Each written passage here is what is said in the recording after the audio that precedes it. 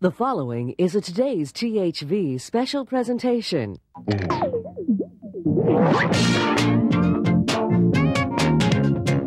To help the Razorbacks cope with a setting like this, they're using a setting like this. Lengthen the back of the body. and The Hogs practice yoga. Well, we've done yoga before. We started it with Corliss Williamson's team uh, back in uh, the year that he was a sophomore.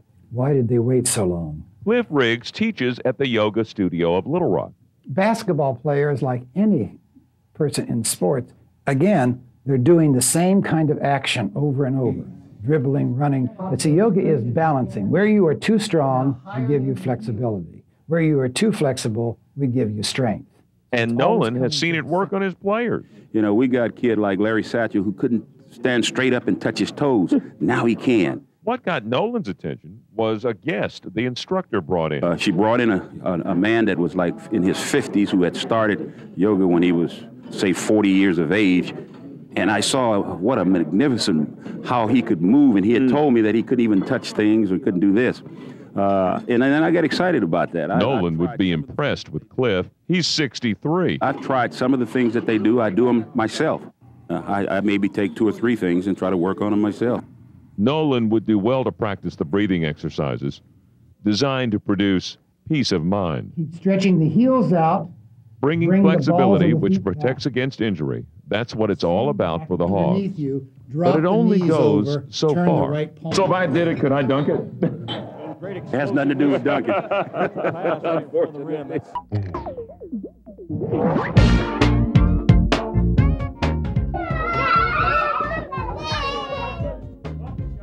The kids loved the Razorback locker room. It was carpeted, it was roomy. First, I got them organized. Y'all want to learn a football play? Well, everybody gather around. Then I taught them the basics. What is this? A football. You're a genius. Great. Once that was established, I could advance to more complicated subjects. Okay, now we're going to learn a football play, and then we're going to go outside and run it on. We're going to run the football play on the out on the grass. Who wants to do it? Show of hands. Well, that's, this is tougher than I thought. All right. now, what we're going to do is a play action pass to try and fool the linebacker into thinking there's a run, and he won't drop back in double coverage, and we'll be able to take the swing man on a play over the middle. The quarterback will fake fade, turn to the left, and throw post. Got it? Got it. Got, Got it. All right, let's go. Let's go. Ah, they were fired up. All we needed now was to run the play. Not everybody can be offense. Somebody's got to be defense. You're a base. Well, we don't. We don't have. Okay, you ready? Shelby, you ready? You say. What? Fumble. It's a fumble. That's not how that's supposed to go. Maybe bowling would have been good.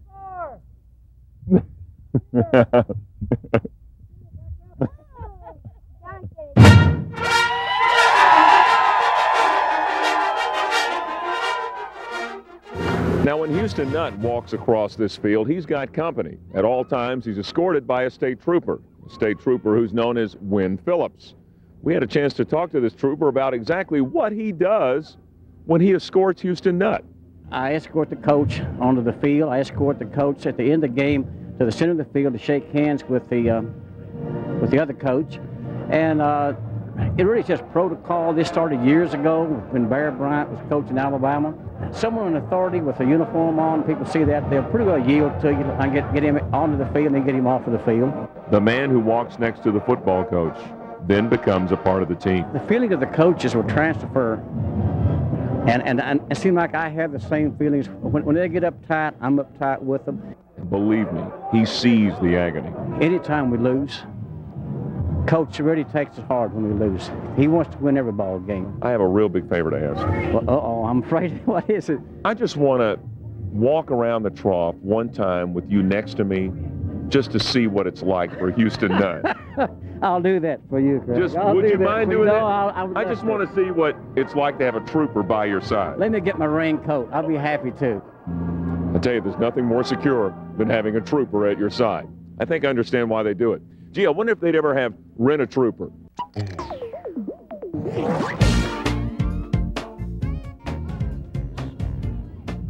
One, two, one, two, three. It's an Arkansas Razorback. Let's try this one. It's an Arkansas Razorback. This isn't working. 40 minutes later, our last street corner. It's an Arkansas Razorback.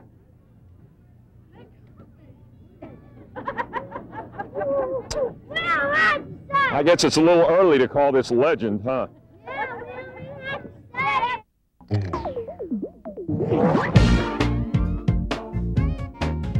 Does it take a lot out of you to carry your child on your neck? Yes, Do you have to be in shape to do that? pretty much. In a race between you two with your children on your neck, who would win? I don't know. It's one way to find out. Get set, go! Autograph pictures, free autographs. Get your autograph pictures. He needs work.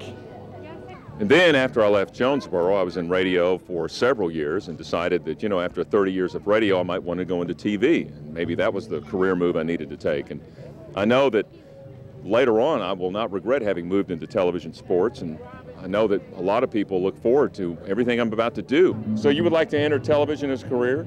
Yes, I would. Take the mic, look right at the camera, and go back to you. Back to you. A majority of streets in this neighborhood have tennis names Bjorn Borg, Tracy Austin, Wimbledon, Forest Hills. These people love their tennis. Of course, I play golf. I don't play tennis. Well, most of these people, they know that Goran Ivanisevic has won Wimbledon. I have no idea who that is. He needs to be a street name. Because I was wanting to know if I could change the name of y'all's street to Ivanisevic Boulevard. Not our street. Well, you'd probably have to go through the association, but I don't think they'll go for it. Where do they live? It's not up to us. Yeah, but he won Wimbledon, and y'all live on Wimbledon, so I figured. Well, he- Wimbledon was here when we got here. No, Barbie? we can't. Barbie? No. What? No. Sure, he seems like a nice guy. You got a ladder I can borrow? Sure.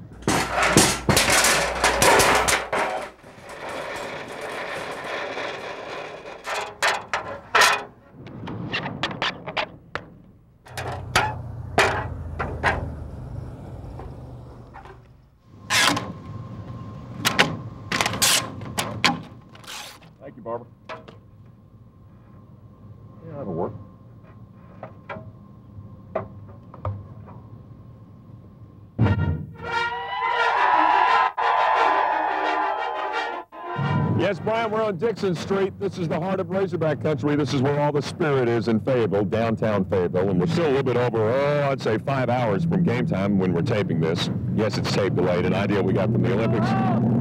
But are they fired up inside the restaurant? How keyed up are the Razorback fans? I think you're hearing for yourself, but let's put them to the test. Let's go inside.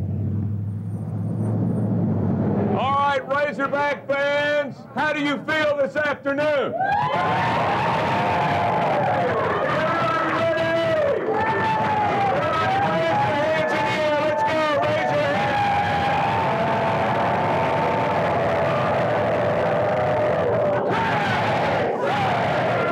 Let's go in another restaurant, George's Heroes, and see what happens here. Come on. Razorback fans, are y'all ready for today?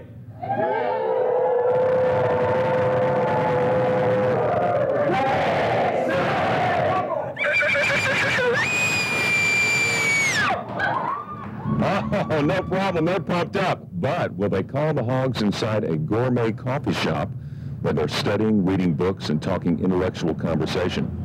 All right, is everybody in here fired up about the Razorback game?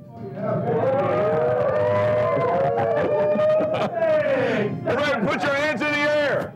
Put your hands in the air.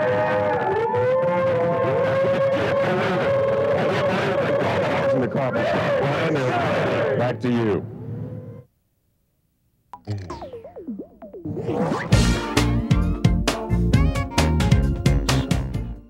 She's not very tall. She doesn't look like she could hit it that far. But you know what? She can beat any boy at her high school in El Dorado. And I'm shorter than all of them, too, and they can't stand it. She's Amanda McCurdy, who tomorrow begins her quest to win the AWGA State Stroke Play Championship. She already holds the State Junior Girls Championship, the high school overall, and the AWGA Match Play Championship. A win this week would mean she'd be the first ever to win those four titles in a year. On the verge of history, she doesn't show it. I'm real excited about it. Just hope I play well. That's Amanda, cool under pressure.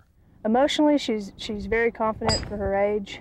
Um, she's got all the tools mentally that normally a 17-year-old doesn't have. And this is why she's won championships. The girl likes pressure. I do. I mean, I've noticed that sometimes some people have said that to me, that I seem to do better when it's more important. With the money getting bigger in professional women's sports, has she thought about going pro? My mom made me promise I'd get a degree just whenever I feel I'm ready and I feel my game's ready. So. I think I'm ready to sink this putt. I think you are. Go ahead. It's all you. Okay. Yeah. What I do wrong? You hit it too hard. She's cool. She's strong despite her size.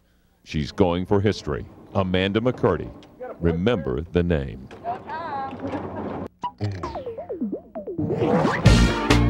Rebsamen Golf Course. Golfers say it's one of the most improved courses in the country, but they've got a problem. Canadian geese. They eat the grass, and had, we've probably done about $20,000 worth of repair just from last year's. The maintenance crews have tried everything. There are sprays you can spray. There are uh, noise makers that you can buy. Uh, one of the best uh, alternatives is just keep them stirred up, uh, stir them up with carts. But the shoe method takes too many hours. What's the answer here? The most environmentally conscious solution we could find was a trained border collie, which is Fern. Fern, a border collie, and she's a specialist. She went through intensive training in North Carolina for two years. She loves to work. Walk up!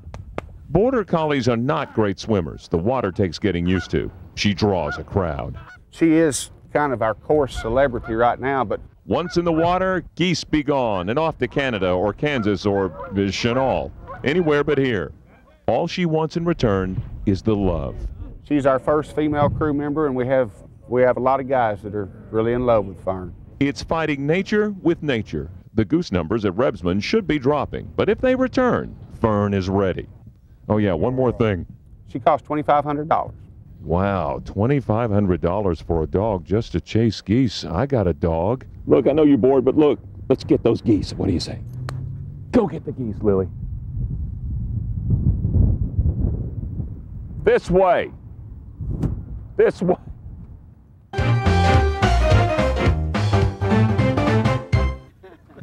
Have y'all been having a really good time today, Rick? You bet. We've had a great time. Wonderful. You mind if I ruin it, JD? Go ahead. I mean, we've ruined a lot of holes. So okay. Well, let me see what I could do. All right. Okay. You all watch golf on television, and you know that the announcers all speak in hushed tones. Mm-hmm. Why?